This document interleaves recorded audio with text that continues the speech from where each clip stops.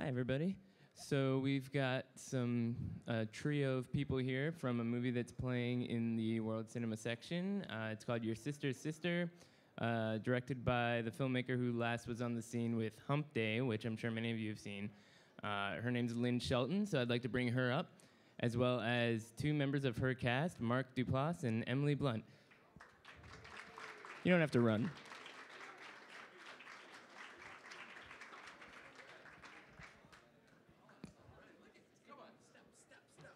See two microphones.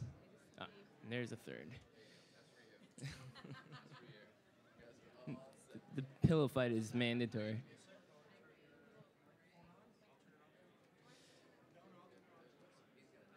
So uh, the there's this terrific BlackBerry app, uh, and this is not a plug or anything, Hello. but it, but it has listings for all the films there in the festival. So instead of asking you just to like describe the plot, which you know you've probably done a million times now, I, I figured I would just read this little blurb. Uh, Your sister's sister is about uh, here we go. While still mourning the recent death of his brother, a bereft and confused man finds love and direction in a most unexpected place. That's it. So, Emily, Yes. what are you doing here? I, I'm actually, I, I'm in it. So can you tell us? Uh, let, us hear a little bit more about the, the. There's there's at least two women I know about that are signi- a significant part of this two. plot. So Well, We got Mark Duplass. We're it requires a bevy, as it were. Rosemarie DeWitt is the other sister um, in your sister's title, and she's very, very bereaved that she couldn't have made it. She, yeah, she s- is I'm sorry sisterless. for everybody. She's sisterless for Emily, so Emily is representing both sisters. I just had to say that. now, uh, Mark, you were telling me before. I mean, for those of you who have seen Hump Day, you know that Mark uh, was one of the stars, and Lynn's style is very unique in that she works with actors very closely to sort of improvise around a pre-configured plot. Emily, from what I understand, you were sort of new to this dynamic and to this group of people. So can you tell me a little bit about the sort of coming into the fold and what that process was like for you? Yeah, I mean, I, I think I was very ready to do something as collaborative as this was. I think I'd been a part of some films that had felt where you don't, where you have less of a voice, and so this felt very unique and a very organic way to shoot. And and Lynn just pitched me and said, "Do you want to come and have some fun for two weeks?" And I said, "Yes, I would." No, that's was- not how it happened. That Come is on, how it no. happened. No, Emily's agent called us and was like, "We've got this little unknown actress who would love to be a part of what you guys are doing." and we're like, "Who is this?"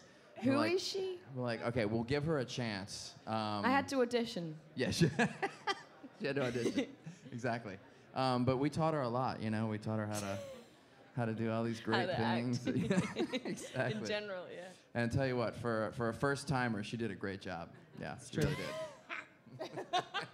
Yeah, I, th- I thought you looked familiar, but I couldn't Yeah, quite tell. Um, no, the, the production itself has actually gone through some really interesting stages. From what I understand, at one point Rachel Weisz was connected, um, and then the two of you kind of hunkered down and went through uh, various different stages of, of writing and, and working through it to get to where we are right now. So we can you? all hunkered We all down. I'm sorry. Yeah, Don't no, leave me out of it. Don't let them plus fool you. Yes, it was. It was It's a Mark's very. suit. I It know was- it's a suit. There were many conversations over suit. about eight months with all with me talking to each individual actor, and then in combination with just three of us, and then four of us, and then we had a little weekend workshop. But um, I would go away and write a little bit, and it backstory is really important for this kind of process. I feel like the the characters and the relationships between the characters and all the history, um, even if it doesn't come up in the to the surface in the film itself, and I don't think hardly any of it, if any of it, came up. But it creates this chemistry and this texture, um, so people really have a foundation, you know, on which to um, hang the drama of the of the movie itself. So that's a really really fun part of the process. And um, and then uh, by the time we actually came close to shooting, we were able to replace one of the actors really easily because we had this Bible, you know, to share with her that explained everything, all the character Bible, and the, you know, we had a sort of a scriptment, like a 70-page, you know, um, half outline and half. I mean, with, you have to understand, with Hump Day, it was a 10-page outline. There was literally a list of scenes and what would happen in each scene, and then everything was just completely and utterly improvised, um, dialogue-wise. And in this film, um, we just decided to have a little bit of a safety net, and if we wanted to have some dialogue written and use it, we could. But it was never, you know, required, Yeah. and so it was there for them to choose to use if they wanted to or not. But vast, vast swaths of the film are completely improvised, and it's really couldn't have been created in any other way. Well, you said it was fun, but it sounds like it's, there's a little bit more to the equation than that. I mean, when you have 78 pages that aren't a screenplay, but something else you have to work with. It's exhausting. It's like I- stressful, it, it's Brain melting. yeah, Yes. it- it's it's especially like- with the timeline we had, which was I very short. We had We two weeks, to- wasn't it? Even less, actually, because 10 days. Rosemarie um, came on board, but she was still in production on United States of Tara, and so we had to fly her down to LA twice during our production. So we lost a couple of days, Mm. and that made it even tighter. And so we were just really on task all the time. It was really Yeah, it feels like sometimes we describe it maybe like it's too easy or something like we just went away to an island and got five houses and just lived and shot and we were the happy little hobbits like doing our thing but like It's these not. It's not actually that kumbaya of an no, experience. it's not that kumbaya. Although it's we really were tiring. we were singing Afterwards it Beauty and the. Beast for quite a while. For a that, lot of that, that did happen. Him in a horrible English accent as well. yes. Everybody I was think- trying to mimic uh, Ms. Blunt, and so Yeah. lots of terrible, terrible accents. I think the words you used were But she got us back. I'm not deaf. Like you're set you're you- you make me sound like I'm deaf. Anyway. she made fun of us way better than we could make fun of her. But we would. We'd have these summits sort of at night after we shot, during dinner, or in the morning, and we would kind of take walks around and say, okay, what can we now adjust uh, based on what happened today? What can we do to kind of streamline the story a little bit? And it's a living, breathing process while you're shooting, which is dynamic and exciting and so great for actors because we just get to feel really organic, but it is tiring. Yeah. And it, it's another, the way you just described it is another reason why kidnapping a cast and crew to a location is so great for making a movie like this because you're just together all the time and even in your off Handcuffs even. time, Yeah. it's still. so on many time. ideas came like as we were having a glass of wine but before dinner or something like that we'd be walking around the kitchen being like what about this what about this it was just constant and i'd have like nightmares about Yeah. not knowing what to do in a scene and then wake up and be like oh my god Somebody started talking about adolescence and bathing suits and the arrival of pubic hair at some point, and, and, and it and it made its way into the film about. in I such a can't wait to see fascinating way that we were just like, that's the great thing about improv. You, you develop this rapport and you start hanging out, and then you know, Telling personal stories. an hour after lunch, that some- was not my story i'm going to say right now it, it is presented to be my story on screen it's a hilarious moment i'm going to go on record right now and saying that is not my personal Sounded You story a get to like actually you. see Emily Blunt physically, literally blush on don't know. screen And in it, real it- life. there's one scene where Lynn had said to Rosemarie, "You know what? In this, she just whispered. She said, "Try say something that will really embarrass her in this scene. That would really embarrass Iris." And I was like, "Oh!" And so I could hear something. I was like, "Oh God, what's she gonna say?"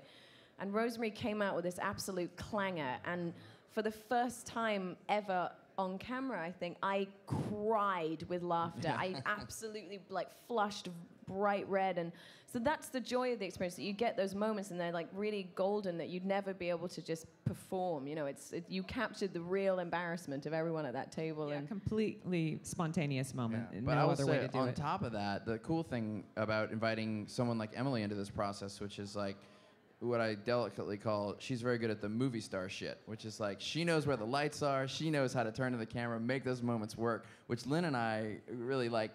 We're just kind of like fumbling through naturalistic dialogue, and so I was watching Emily like on the first day, and I was like, Mark learned a few, a few Holy tricks. shit. I was like, look what she does. Like she nails the bumbling moment and then she like turns and it's like boop, glint in the eye to the light. And I was like, I'm gonna, I gotta do some of this shit. I'm gonna figure see this out. can you see right now I've got the best seat You do have the yeah. best seat. And by the way, can you see I'm just like this? Like I've got all this room over here. I'm like, I'm gonna get an Emily's light. So Emily, there obviously was less movie star shit on a set like this yeah than ones you've done before. What, what, and so, I love it so to speak, going from what you've done before, I mean, what sort of expectations did you have, and, and was it surprising to you to be on a be on a set like this? Yeah, I think um, I think because we'd done so much work before, you know, we did speak constantly for eight months, and we had a couple of workshops, and that was very helpful, and so it felt very familial by the time we got to set. We're all on the same Um, page. where everyone was on the same page, and so, but yet the exhaustion of it was surprising to me. I was like, why am I so tired? You know. but at the same time, I think that you know there were days where I felt really scared and I didn't know if what I was doing was working, and I felt that trying to improv an expositional moment can be quite eggy for me sometimes, and so I'd, you'd be in these. You'd have these flashes of insecurity as to whether what you're writing in your head is going to be good enough, and because I'm not a writer, you know, and you know, Mark you kind of and are, Lynn though. were very. I think you figured out that you were very good at it on, on set. I don't know. Maybe You don't get to say that because it's like complimenting yourself. But uh, let me. Let I me was really good. I won't yes, phrase that as a question. You're really good at it. You were well, the very thing, good at the it. thing about this method too is that um, it, it really the final script really gets written in the edit room. Yeah. And so, what's lovely about that, we have two cameras capturing everything, so never nothing ever has to be repeated precisely. None of the dialogue because we can always cut. We have something else to cut it to always because we have the two cameras. And what that means is that it's this emotionally safe place for the actors to really just take risk. You know, just I mean, to just take the biggest risks they, they That's want true. to and feel safe doing. Yeah, and you can you can be shitty at you know. Yeah, and sometimes you crash and burn, and then other times it's really golden. Other times you feel like you're doing something that's like watching paint dry, but yet it didn't matter because everyone was just getting we through can it. we'll you know? take we'll sort out the bad bits Yeah. and we'll find you know just find the gems to use in the in the edit room. Right. So it's well, the interesting thing about that, I mean, and having you three on this couch, is that I think on some level it does show you a direction that a lot of movies are going right now, which is a, a more relaxed approach to how you can put a story together on screen with a certain amount of resources. Um, Mark, obviously, you're also a director with your brother Jay, and you guys have a new movie here called Jeff Who Lives at Home, and you guys also have your own sort of, in, you know, specialized, improvised approach where you write a screenplay and then throw it out, and everybody gets freaked out, and then you get them to figure it out. So That's, that's the exact conversation I have with my investors. It's a, you, you nailed it. Yeah. it'll be a hit, I swear. uh, so you know, and, and, and Emily, you've worked on bigger projects, and yet you're willing and, and able to work on something that you know is completely different from that sort of dynamic. So, wh- what do you guys make of that? I mean, why why is it possible to make movies like this right now? Maybe because ones that have been made on a smaller scale have actually turned out pretty well, and so maybe people are, are less scared. Investors are less scared to give it a shot at a larger level. I don't know. There's I this mean- thing that happens too. Like, i i there's a technology element of it, really. Like in the music business in like 1990, you could record a great sounding record at home, and it changed everything. And in the early 2000s, we got these new great digital cameras that was like, you can make a good-looking movie for cheap now, which never happened. So while we were farting around doing that in our early 20s, we now kind of like, oh, now we know what we're doing a little bit, and we can still use that same kind of uh, methodology of being little kids in kindergarten throwing stuff at the wall and see what sticks. But like we can now we've made a couple of movies, so now we can turn to Emily and be like, "Will you please come do this with us?" And she's like, "Yeah, that one you made was pretty good. Let's go try it." You know. So I, think, that also like actors are really deprived of great material and great experiences and so often there's like an entourage of producers on a film set and that can be quite um, stifling you know so i think there are a lot of actors out there who are craving an experience more than anything just truly a life expanding experience and that's that was one of my main reasons other than seeing these guys work on hump day why i wanted to do it you know it's almost like people used to like take their breaks and go do theater in New York. Like This this, was this it. is that This is same that, thing. I'm gonna go do my theater and, and have fun and you know just be me as an Mm. actor and feel pure like I did when I was young. And you know it's it's a Watch great Conan break. the Barbarian late at night with crew. We we did watch catharsis. Conan the Barbarian, but that was just once. Yeah. yeah Can we find some element of that in the movie if we look closely You enough? goddamn right. You you wait. You wait till I take my shirt off. You. you just wait, buddy. yeah On that note, can we take some questions? If anybody has them. I don't know. If, are we doing questions here? Well, uh, I have more questions. Uh, Lynn, Hump Day was a breakout hit at the Sundance Film Festival a year ago, and change, two years ago. At that point, I'm, I'm sure you weren't expecting quite the reception that it received. You know, not only did it get a, a decent release and great reviews, it was also swept in as sort of the counterexample to the bromances that were going on at the time, uh, including Forgetting Sarah Marshall, starring Jason Segel, who's in your new movie. So, uh, you know, after after that whole experience, that sort of wave of enthusiasm, which uh, you know must have been very new to you, Uh, how did how did you sort of recover and get back on your feet and say, okay, I'm gonna keep making movies and, and hope for the best on the next. Oh, next she, one? she has a huge ego. I'm just gonna say right now. well, that's a given, right? I mean, my head was like bonking into walls. Well, I mean, the big change for me that happened with Hump Day was that um, I had representation in in uh, LA after that, which I'd never had an agent before or a manager. I had both of those that come spring after Hump Day, and I was reading scripts. They were, you know, people were producers were coming to me with projects and.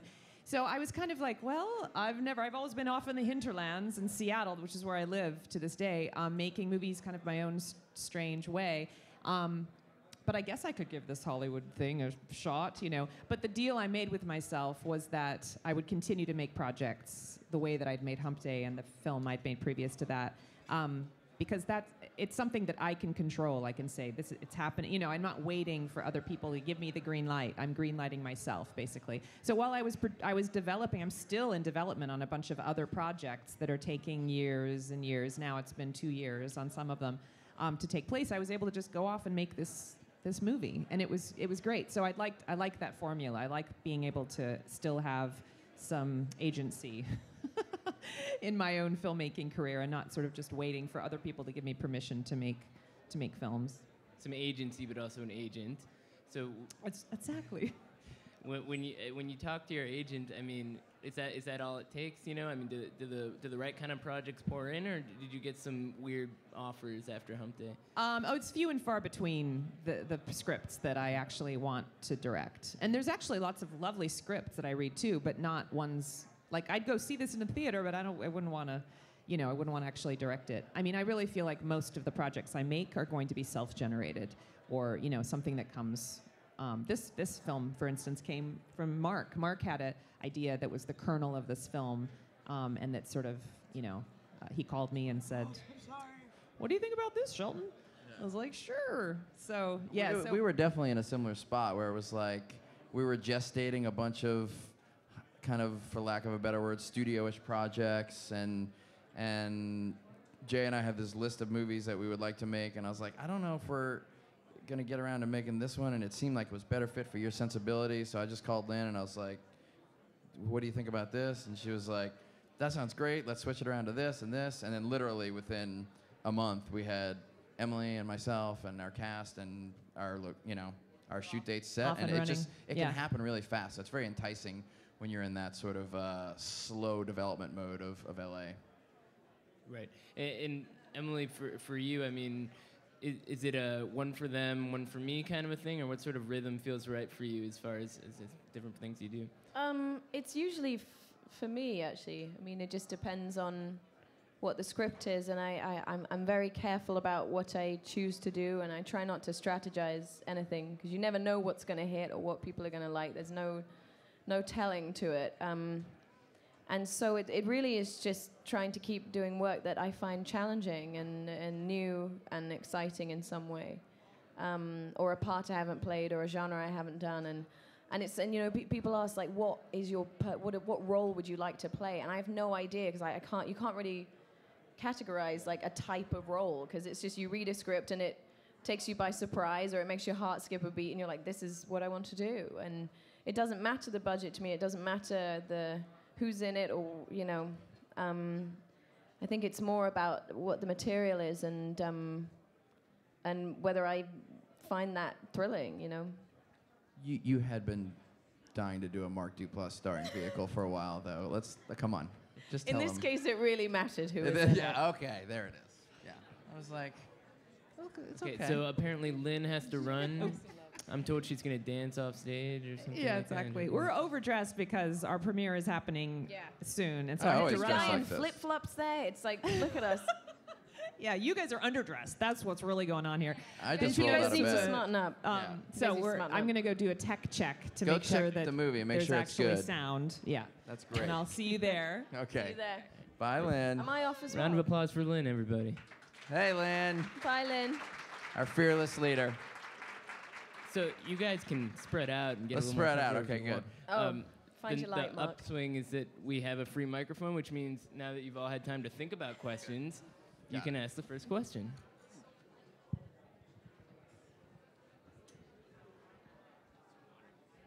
Hello. Hi, Emily. You mentioned before that this was a refreshing experience for you because you didn't have a ton of producers on ton of set. what? A ton of Producers? producers sort of stifling things. As a young producer, um, I have. Sorry. No, no, no. That's okay.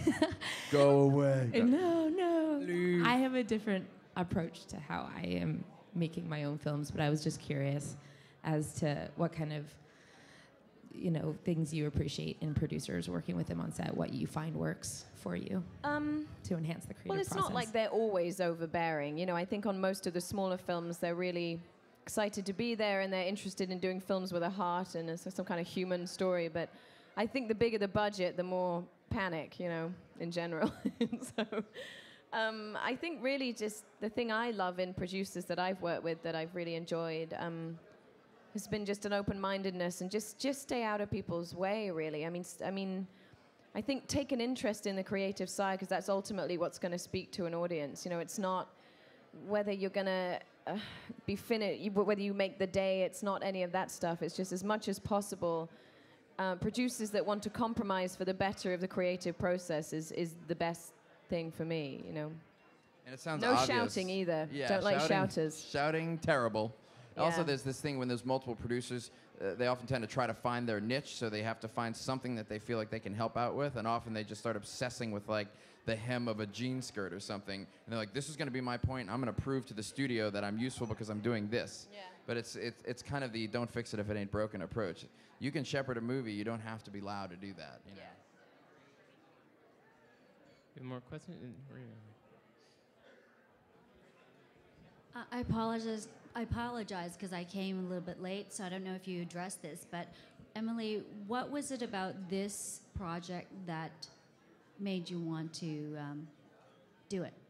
Um, it, was really after I saw Hump Day and saw Ma- Mark in that and saw Lynn's film that uh, that looked very appealing to me. And I think um, I think because I had worked on some bigger films and where there's a sort of set script and there's sometimes no wiggle room. I think I was ready for a bit of wiggle room, probably, and Well, a and bit of had done this collaboration. you know. before, too. Yeah, and I, my my first film was all was all improvised, and and I realized how much that taught me as an actress. It's taught me so much about um, making brave choices and just diving in and.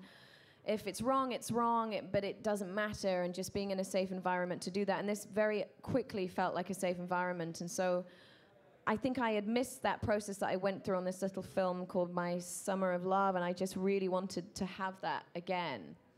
Um, and then I think, yeah, I think it was mainly that just to be creative, be collaborative, be a story writer in many ways. You guys should see My Summer Love if you haven't seen it. It was kind of like a smaller release. But it's cool. It's a cool example of, of what we do, which is not only improvising the comedic portions for jokes, um, but it's mostly improvising the drama as well, so that you can find the most organic way of saying a line. And, and that was something you guys did really well in that movie. And so we were like, oh yeah, like there's a danger when you invite someone to an improv movie because you're worried they're just going to start like slinging joke bullets. Um, but like Emily kind of knew it was like, okay, this is going to be improvising the drama, the whole story, and it's a, a rare kind of skill. All right, I think we have time for one more if there's anybody out there. Any burning questions? All right, so right quick, guys, what's next besides dinner? I'm, I'm doing a, I'm about to start a really strange, tiny film with Colin Firth, and we play deranged social outcasts. So that's what I'm doing next. That sounds awesome. It is really cool. It's a very dark comedy. It's this commercials director called Dante Ariola is, is directing it, and Colin and I are both playing Americans. Y'all are gonna go get so weird look together. forward to our fantastic accents. Awesome. Not a lot of Um, improvisation, though, probably. There's probably going to be a bit of that. Um, the script's quite uh, structured, and it's, there's not a ton of dialogue. Actually, it's quite um, muted in that way, but it's beautiful. Absolute beautiful script. Awesome. I have a movie here at Toronto called Jeff Who Lives at Home that my brother and I wrote and directed together. She's clapping. You probably haven't seen it yet. It's not that good. Uh, no, anyway, um, that's uh, showing here on Wednesday night, and it, it comes out early next year. And it's Paramount's gonna put it out. Oh, you're It so is sweet. awesome. I showed it to Emily, a rough Yeah. cut on my computer while we were making this movie, while we were making uh, your we sister were in a cabin, together. like wrapped in like a rugs, shitty watching- little QuickTime, and I was like, And that's when I- we were trying yeah, to fix and I all the still problems. cried. I still cried. It's Oh, you're beautiful. very You've got to see it. Um, so uh, we- we'll be doing promotional stuff on that, and then uh, my brother and I are gonna go make another movie. So Thanks, guys. Thank you. thank Thanks, you guys.